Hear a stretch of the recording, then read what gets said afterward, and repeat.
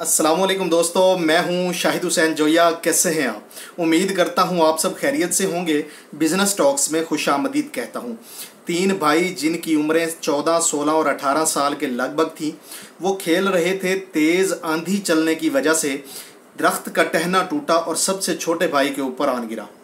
दोनों भाई, जिनकी उम्रें 16 और 18 साल के लगभग थी, उन्होंने टहना उठाया और भाई को नीचे से निकालकर घर ले गए। अगली सुबह, उन बच्चों का बाप और वो लड़के आकर उस टहने को सड़क के किनारे से हटाकर एक तरफ़ करने लगे तो टहना उनसे उठाया नहीं गया।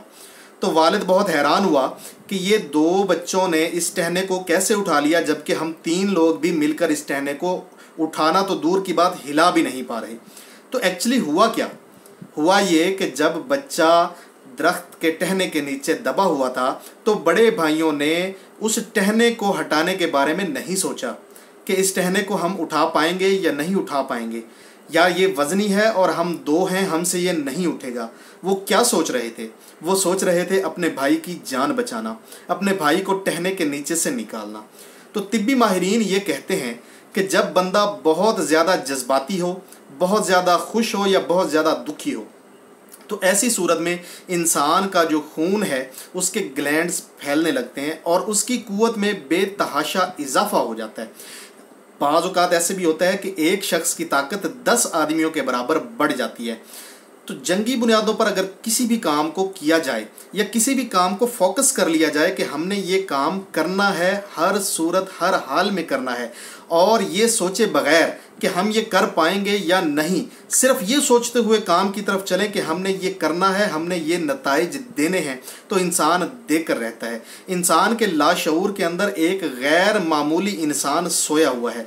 आप अमीर हैं या गरीब हैं, जज हैं या वकील हैं, इस बात से कोई फ़र्क नहीं पड़ता। ये पावर, ये ताकत हर इंसान के अंदर मौजूद है। ज़रूरत है तो सिर्फ़ इस ताकत को पहचानने की, इसको एक्टिव करने की। मिसाल के तौर पे आप कोई बिज़नेस शुरू करना चाहते हैं या आप क्राइसिस में आ गए हैं और उस क्राइसिस से निकलना चाहते हैं, जितनी ज़्यादा फोकस करेंगे, आप उस चीज़ के ऊपर जिसको आप करना चाहते हैं, उतनी ज़्यादा पावर्स आपके अंदर जागना शुरू हो जाएँगी।